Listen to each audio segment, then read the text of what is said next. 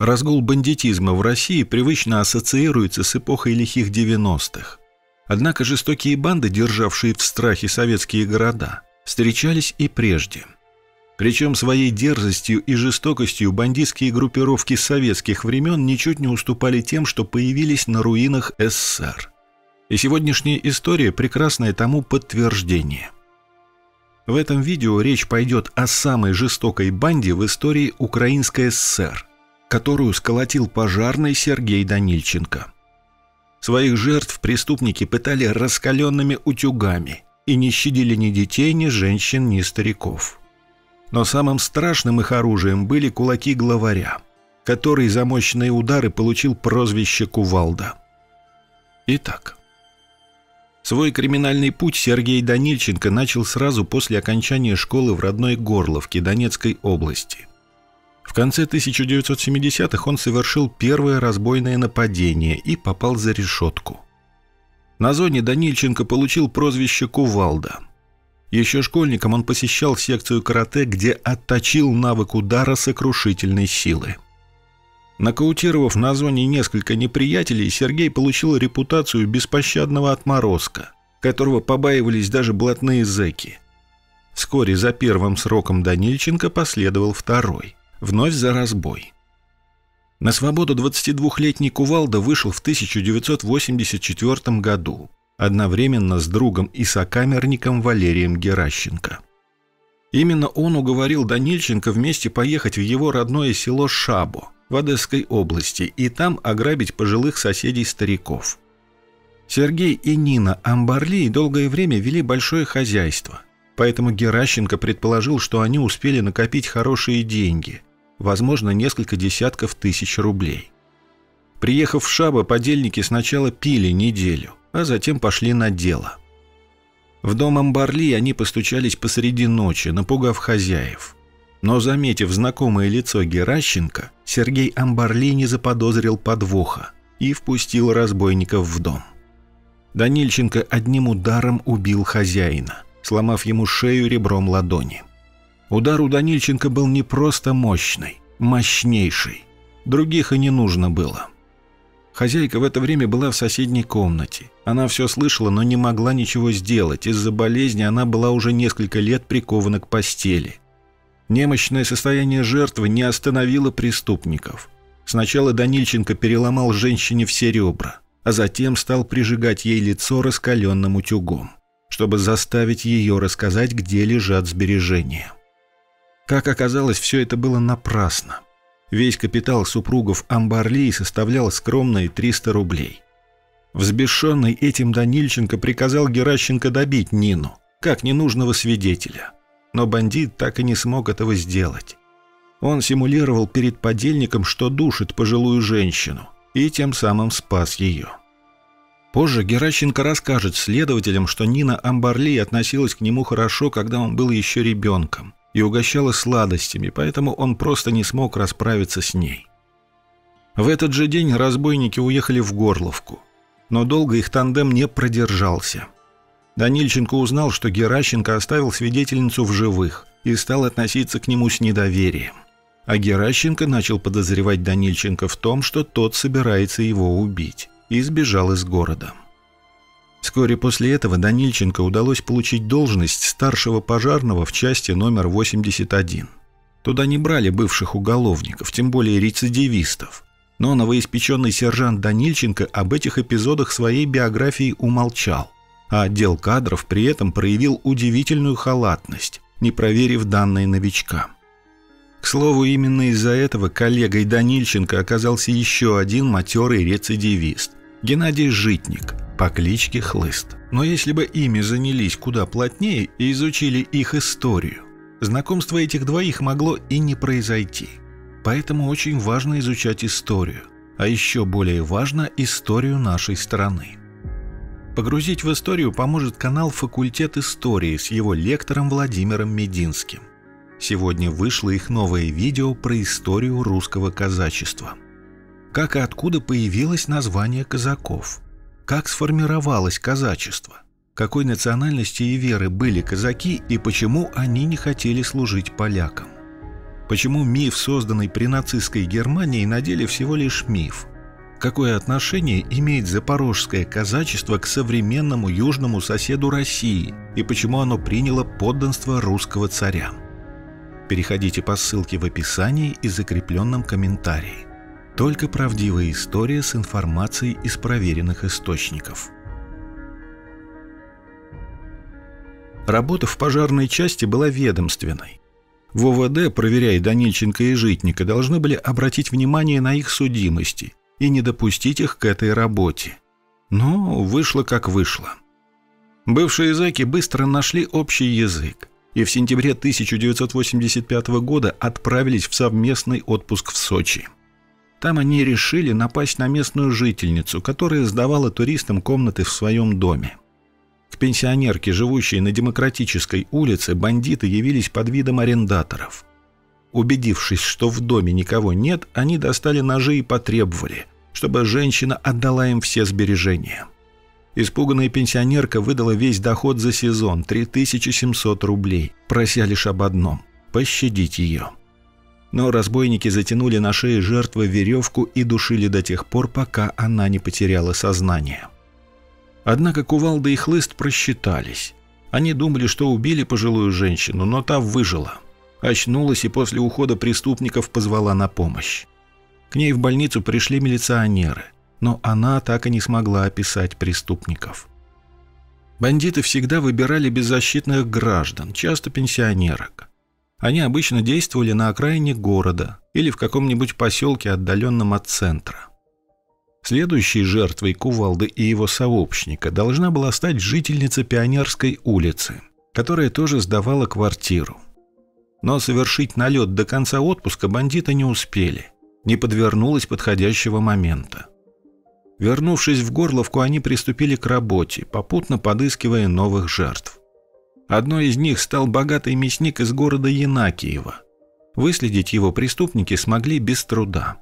Они заказали кусок вырезки через посредника, а затем проследили, куда он пойдет за мясом.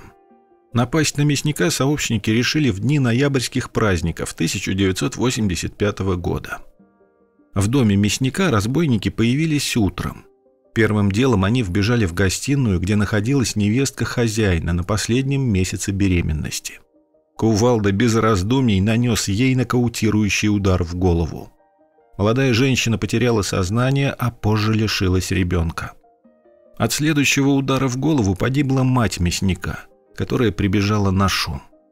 Но когда на помощь женщинам поспешили мужчины, которые находились в доме, Кувалда и Хлыст решили бежать. Неудача разозлила их. Выждав месяц, они заявились в квартиру замдиректора Горловской шахты имени Ленина. Хозяина дома не было – Дверь бандитам открыла его 80-летняя мать, которую они сразу же забили до смерти. Обыскав квартиру, Кувалда и Хлыст нашли 300 рублей наличными и шкатулку с драгоценностями на сумму более 3000 рублей. Она через некоторое время привела к ссоре между бандитами. В шкатулке лежал перстень с красивым крупным янтарем. Кувалда хотел подарить его начальнице пожарной части, чтобы добиться ее расположения – но Хлыст хотел оставить перстень себе. Бандиты даже подрались из-за него, а затем перестали общаться. Тогда Кувалда решил действовать в одиночку. В феврале 1986 года он предложил своей сожительнице Татьяне Афонечкиной поехать в Сочи. Вместе они хотели напасть на ту самую жительницу Пионерской улицы, на которую не напали раньше – при этом Афонечкина выступала в роли потенциальной квартиросъемщицы, которая заранее позвонила хозяйке. Та обрадовалась будущей гости. В Сочи был мертвый сезон, и комнаты в ее доме пустовали. Но когда хозяйка в назначенное время открыла дверь, то вместо Афонечкиной увидела кувалду. Тот одним ударом сломал женщине челюсть, а затем стал пытать ее, чтобы узнать, где она прячет деньги. Пытки продолжались несколько часов, но в итоге добычей грабителей стали всего 60 рублей. Уйти без шума преступникам не удалось. В квартире появился сосед, который собирался провожать хозяйку к вечернему поезду и помогать ей в поиске жильцов. Он оказался крепким мужчиной. Выдержал два удара кувалды и прежде чем потерять сознание, успел позвать на помощь. Бандит вместе с сообщницей успели ускользнуть за пару минут до того, как из соседних домов стали выбегать жильцы. После этого преступления Кувалда понял, что ему нужен крепкий напарник. Но Хлыст мириться с ним не собирался. И тогда Кувалда предложил соседу и другу детства Валерию Сташуку стать его подельником. Жизнь Сташука была неустроенной. Он слыл тунеядцем, толком нигде не работал, но при этом имел на иждивение жену и маленького ребенка. Идея получить шальные деньги ему понравилась. Он даже предложил Кувалде напасть на директора одного из пивбаров Горловки, о богатстве которого в городе ходили слухи. Пока подельники обдумывали план нападения, к ним примкнул хлыст.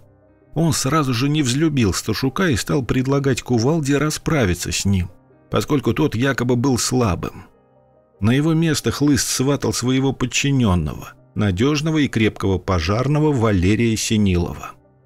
Подумав, Кувалда согласился, и вместе с хлыстом они заманили новичка в Северск, где в условленном месте на берегу реки Бахмут их ожидал Синилов. Сташук почуял неладное лишь тогда, когда главарь напал на него. Кувалда пытался задушить противника, но тот успел прыгнуть в реку с низкого моста. Однако бандиты достали Сташука из воды, нанесли ему несколько ударов ножом, задушили и, привязав к его телу кусок кирпичной стены, бросили в реку.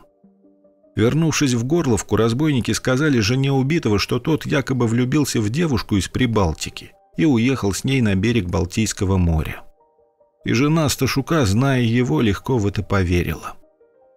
Между тем банда Кувалда решила ограбить того самого директора пивбара, о котором рассказывал Сташук. Прежде чем пойти на дело, Хлыст одолжил у своего родственника, лейтенанта милиции, его служебную форму. Увидев на породе милиционера, обычно очень осторожный директор спокойно впустил его в дом. Вскоре хозяин скончался от болевого шока. Бандиты пытали его раскаленным утюгом, но не успели выяснить, где он прячет деньги. Потом домой вернулась жена погибшего, и ее ждали еще более жестокие пытки. Когда женщина наконец выдала тайник, где лежало всего 600 рублей, ее повесили на трубе парового отопления, а затем подожгли дом. Причем тушила его команда пожарных во главе с кувалдой и хлыстом – которые успели добежать до работы и тем самым обеспечили себе алиби. Впрочем, оно им даже не пригодилось. На обгоревших телах эксперты не нашли ни ножевых, ни огнестрельных ранений. Поэтому сыщики предположили, что пожар в доме директора пивбара всего лишь несчастный случай. Узнав об этом, бандиты обрадовались и взяли на заметку способ сокрытия следов при помощи огня. Их следующей жертвой стала жительница Горловки Людмила Нахрапенко.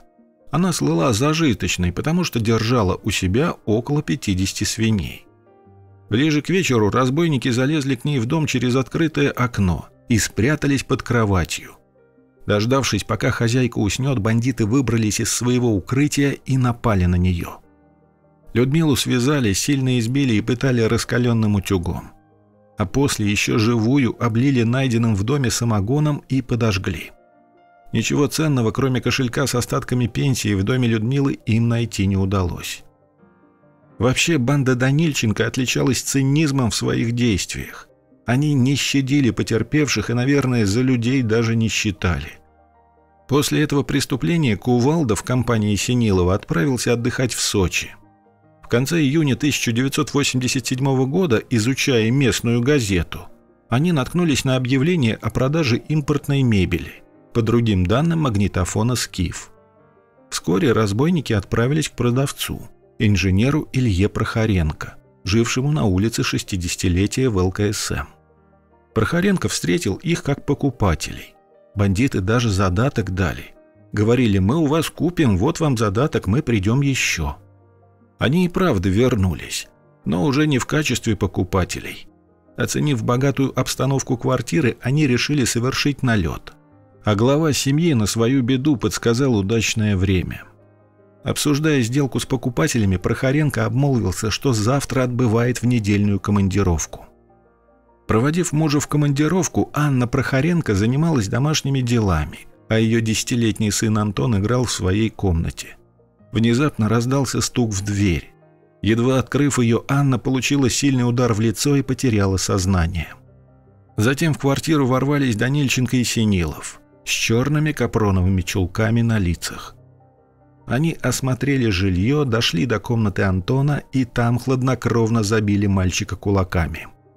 Затем отморозки взяли кухонные ножи и вернулись к Анне, которая едва пришла в себя. Позже судмедэксперты собьются со счета, пытаясь определить число ножевых ранений на теле женщины. Убив Анну Прохоренко и ее десятилетнего сына Антона, разбойники забрали из их дома 250 рублей, магнитофон «Скиф», импортный шампунь, алкоголь и пустые коробки из-под импортных сигарет в качестве украшения. К тому моменту банду кувалды в Сочи уже искали. Сыщики занялись ею после налета на пенсионерку с Демократической улицы.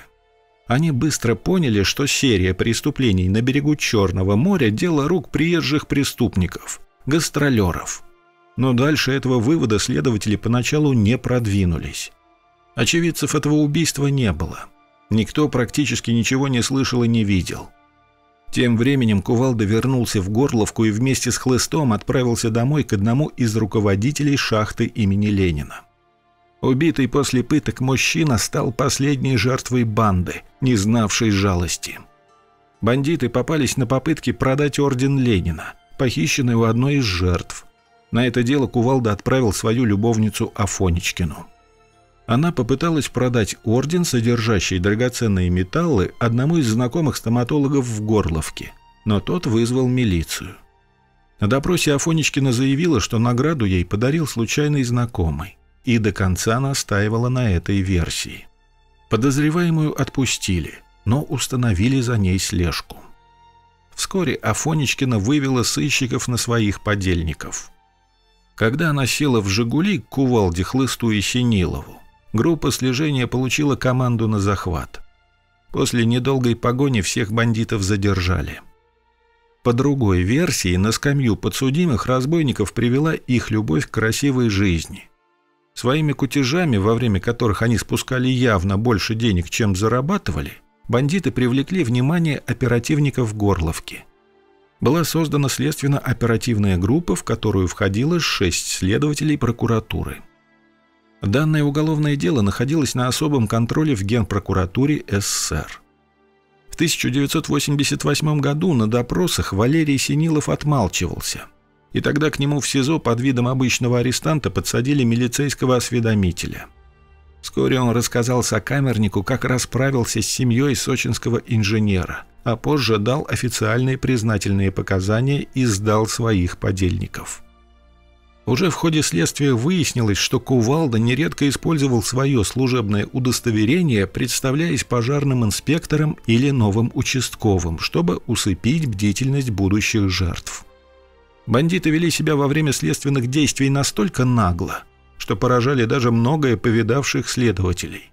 Они смотрели видео следственных экспериментов со своими адвокатами, чуть ли не как мультфильмы. Смеялись, обсуждали действия каждого. Горькая правда стала шоком для ближайших родственников бандитов, которые отреклись от них и не ходили на судебные заседания. Первый подельник кувалды Валерий Геращенко был задержан после показаний главаря. Из-за участия в нападении на супругов Амбарли отправился в колонию строгого режима. Попала на женскую зону и любовница кувалды Афонечкина.